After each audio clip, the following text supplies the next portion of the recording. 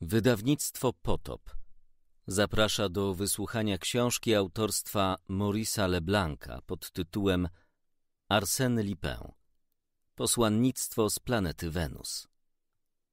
Czyta Tomasz Urbański. Pod koniec XX wieku na murze budynku, gdzie znajdowały się laboratoria znanego fizyka Noela Dorgerot, poczęły się ukazywać niezwykłe, ożywione obrazy, przedstawiające zarówno sceny z epoki współczesnej, jak wypadki z lat minionych. Dziwne te wizje poprzedzało zawsze pojawienie się trojga dziwacznych, niesamowitych oczu, rozmieszczonych z niezmienną geometryczną dokładnością w trzech kątach trójkąta.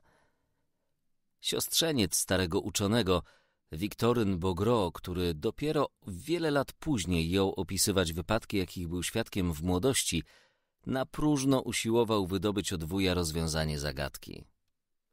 Stary uczony zazdrośnie bronił swego sekretu, a to z dwóch powodów.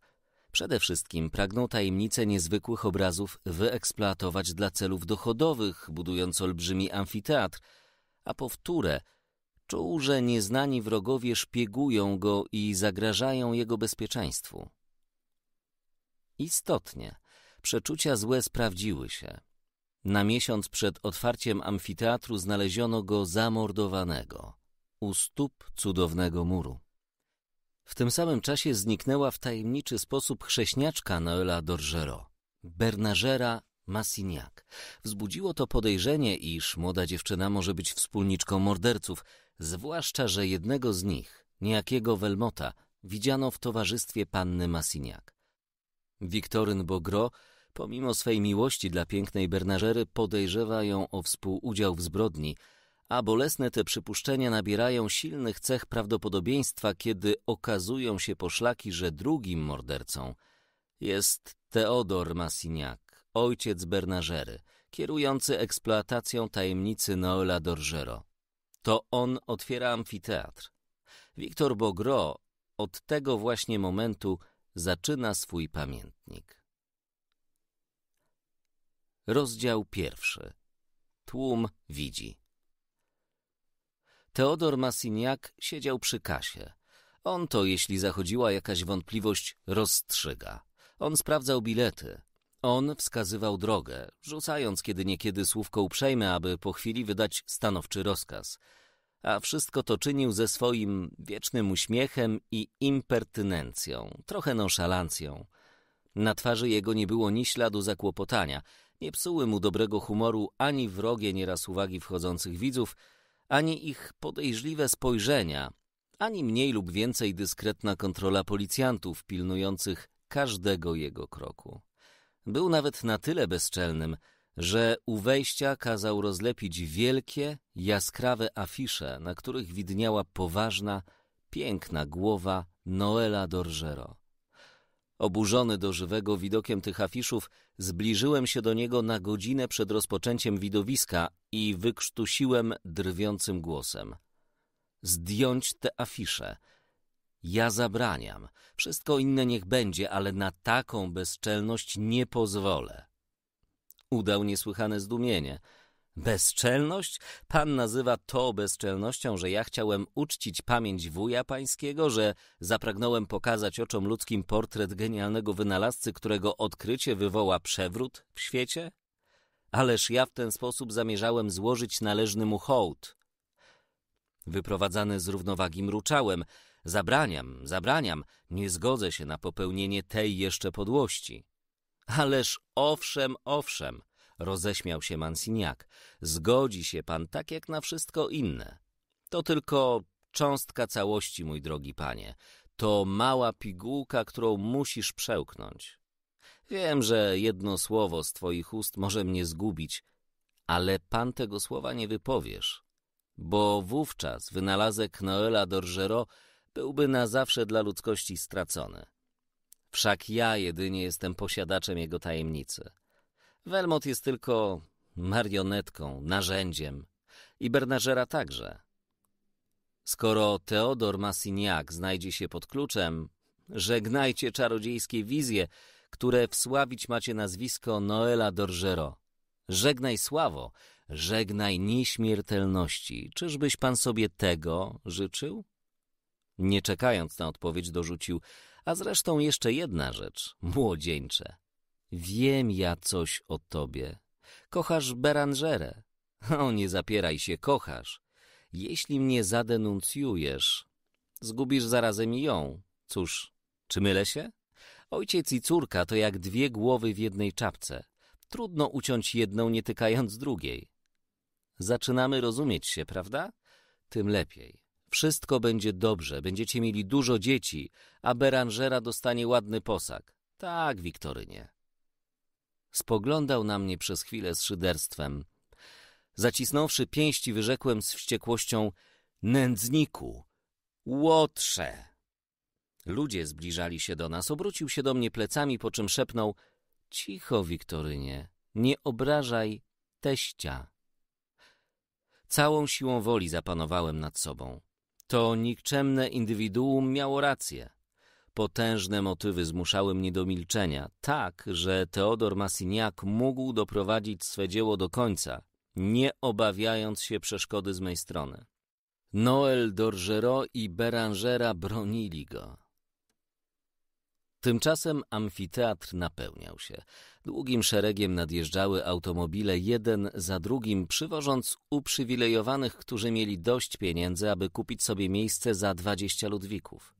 Finansiści, milionerzy, sławne gwiazdy teatrów, naczelni dyrektorzy pism, najsłynniejsi literaci i artyści, potentaci handlu, sekretarze wielkich syndykatów robotniczych. Wszyscy oni spieszyli, gnani gorączkową ciekawością na to niezwykłe widowisko. Żaden program nie ogłaszał szczegółów. Nikt też nie wiedział z pewnością, czy tajemniczy wynalazek Noela Dorgerot zostanie istotnie w należyty sposób zużytkowany. Zwłaszcza, że krążyły przypuszczenia, iż Teodor Massignac, chcąc wyłudzić pieniądze, dopuścił się mistyfikacji. Wszakże na biletach i afiszach widniały te mało zachęcające słowa. W razie niepomyślnej pogody bilety ważne są na dzień następny. Jeżeli z jakiejkolwiek innej przyczyny przedstawienie nie odbędzie się, dyrekcja pieniędzy nie zwraca. Wszystko było już gotowe. Teodor Mansignac urządził wszystko i wykończył przy pomocy architektów i tapicerów według planów wypracowanych przez Noela Dorgerot. O godzinie pół do szóstej wszystkie miejsca były już zajęte. Policja nakazała zamknąć drzwi wejściowe. Tłum zaczynał się niecierpliwić. Dawało się odczuwać masowe zdenerwowanie. Jeżeli to się nie uda, rzekł jeden z moich sąsiadów, to będzie awantura. Tak, odparł jeden z dziennikarzy, dobry mój znajomy. Będziemy się awanturować. Ale nie tylko w tym leży niebezpieczeństwo dla czcigodnego Mansiniaka. On ryzykuje o wiele więcej. Mianowicie, zapytałem, może dostać się do więzienia. Ratowała go dotychczas ciekawość powszechna. Jeśli ta nie będzie zaspokojona, to źle. Rozkaz aresztowania już podpisany. Zadrżałem. Massignac aresztowany. Cóż za niebezpieczeństwo dla Berangery. Bądź pan przekonany, ciągnął dalej dziennikarz, że Massignac wie doskonale, jaki miecz Demoklesa wisi nad nim. A robi on wprawdzie niesłychanie pewną minę, ja jednak przeświadczony jestem, że w głębi duszy dygoce cały. Silniejszy pomruk przebiegł przez zgromadzony tłum. Na dole Teodor Massignac pewnym krokiem wkroczył do orkiestronu, prowadząc za sobą dwunastu wysokich, dobrze zbudowanych drabów, zaangażowanych jako funkcjonariuszy amfiteatru. Wskazał im dwie ławki, specjalnie dla nich przeznaczone, i z najnaturalniejszą miną w świecie wydawał rozporządzenia. A mimika jego tak dobitnie wskazywała, co czynić mają w razie, gdyby ktoś zamierzał zbliżyć się do muru, że wśród publiczności ozwały się krzyki protestu. Massignac obrócił się w stronę widzów, bynajmniej niezmieszany, i z taką miną wzruszył ramionami, jakby chciał powiedzieć, czego chcecie. Muszę przedsięwziąć środki ostrożności, czy mi nie wolno? Tłum na chwilę uspokoił się, aby po upływie minuty znowu wybuchnąć tym większym hałasem. Podnieść kurtynę. Kurtynę! wołano. Masiniak spojrzał na zegarek. Wstał zwolna, spokojnie. Zbliżył się do muru i nacisnął guzik elektryczny. Żelazna kurtyna opadła, odsłaniając w pełnym świetle niezwykły ekran. Dreszcz przebiegł przez widownię. Każdy drżał ze wzruszenia na myśl, że będzie mu danem asystować przy niezwykłym, tajemniczym widowisku, o którym tyle dziwacznych, sensacyjnych krążyło wersji. Ja sam w tej chwili uroczystej zapomniałem o wszystkich fazach dramatu. O mej nienawiści do Mansiniaka, nawet o miłości do Beranżery.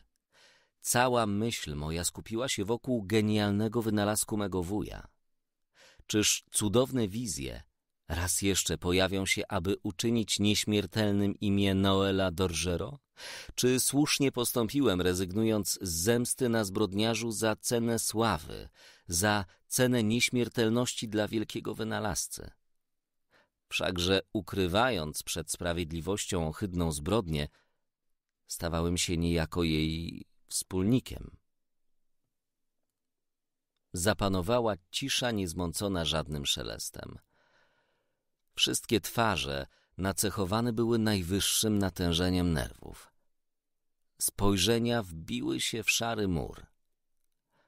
Wola tysięcy widzów jednoczyła się z wolą Mansiniaka, który stojąc z pochyloną naprzód głową, badał wzrokiem nieprzenikniony mur. To on był tym, który pierwszy zobaczył światło. Krzyk wydarł mu się z piersi, a ręce frenetycznie uderzyły powietrze. Prawie w tejże samej chwili chór krzyków zabrzmiał wśród publiczności. Tłum zobaczył troje oczu. Troje oczu zakreśliło na ekranie regularny trójkąt. I nagle te oczy bez powiek, złożone z linii suchych, symetrycznych, napełniły się wyrazem, który je uczynił tak wymownymi, jak oczy człowieka. Wyraz twardy, dumny, z błyskami złośliwości. I zrozumieliśmy, że to jest spojrzenie jakiejś istoty, tym wzrokiem spoglądającej w życie istoty, która miała się nam dać poznać w życiu realnym. Tłum nie mógł się otrząsnąć ze zdumienia. Tłum czekał, i wizja ukazała się jego oczom. Nagle ta cała gromada ludzka zobaczyła drugą gromadę, równie gęsto zbitą, której poruszania mieszały się z jej własnymi. Prawie że słyszała szelest kroków i gwar tego drugiego tłumu, odzianego w suknie świadczące, że ci ludzie są dziećmi XIII lub XIV wieku. Postacie w mniejszych sutannach czuwały nad pracami robotników, wydając rozkazy i nie uchylając się niekiedy od popychania worków naładowanych lub ociosywania kamieni. Kobiety z ludu sunęły z dzbanami wina, nalewając je do kubków zmęczonym pracownikom. Dwaj śpiewacy śpiewali jakąś pieśń, wturując sobie na gitarze. Trupa akrobatów w dziwacznych, jaskrawych kostiumach przygotowywała właśnie do wykonania swych produkcji, kiedy nagle obraz się zmienił. Był to ten sam gmach zresztą, ale w stadium daleko późniejszym. Wyraźnie już można było rozróżnić kształty świątyni gotyckiej. Ludzie, którzy pracowali nad jej wykończeniem, murarze, kamieniarze, rzeźbiarze, mnisi, mieli już stroje zgoła odmienne. Dwa wieki upłynęły. Obrazy zmieniały się, jeden za drugim, w taki sposób, że trudno było określić, kiedy się zaczyna, a kiedy kończy wizja. I tak jak w kinematografie seria obrazów reprodukuje rozwój rośliny, tak samo w oczach naszych budowała się, wznosiła wspaniała katedra. Nadeszła wreszcie chwila, kiedy wystrzeliła ku niebu w całym swym nieskazitelnym pięknie i wspaniałości. Była to katedra w Reims ze swymi trzema portalami, z lasem posągów, ze strzelistymi wieżycami okolonymi szeregami małych wieżyczek, z misterną koronką rzeźby. Katedra w Reims, arcydzieło architektury. Taka jak ją widywano przez całe wieki, nim ją zburzyła inwazja niemiecka. Tłum patrzył z zapartym oddechem w piersi, przejęty mistycznym dreszczem. Wszyscy rozumieli i odczuwali, że są świadkami czegoś niezwykłego, nadziemskiego, że to, co widzą, nie pozostaje w żadnym związku z fotografowanymi obrazami budującego się gmachu. Niezrozumiały cud, jakiś przenosił ich nagle w wieki minione, stawiając im przed oczy rzeczywisty obraz budującej się w średniowieczu świątyni. Tu nie miało się do czynienia ze sztucznie wywołanymi obrazami. To przeszłość sama wynurzała się z otchłani wieków, zwyciężając niepokonaną dotychczas zaporę czasu. Katedra w Reims przed naszymi oczami żyła, oddychała, przez setki lat nie tracąc nic ze swej piękności. Zaklęta w kształt kamienny śpiewała hymn na cześć Boga, królując ponad morzem domostw, które z biegiem czasu zmieniały swój wygląd, konstrukcję, architekturę.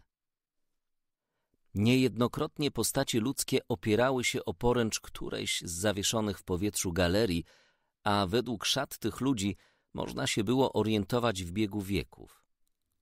Przesunęli się przed nami obywatele z czasów przedrewolucyjnych, potem żołnierze napoleońscy z epoki cesarstwa, później dzieci XIX wieku, turyści, pątnicy i robotnicy, zajęci przy robotach nad odnowieniem katedry. Ostatnie zjawisko ukazało nam grupę oficerów francuskich w mundurach polowych. Zgromadzili się oni w pośpiechu na szczycie wieży, przykładając